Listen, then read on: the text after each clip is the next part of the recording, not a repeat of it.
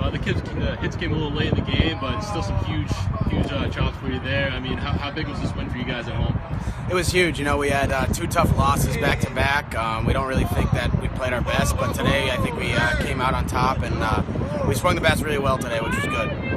Yeah, and again, fall, falling two times your last last two outings. You know, coming here again I mean, what was the energy like in the dugout when you guys had those surges? Uh, it was it was pretty good. You know, our guys are confident all the time. Um, you know, we really never go in there expecting to lose or having any negative attitude. I think once we started getting some hits, though, the, the bench started to rile up a little bit.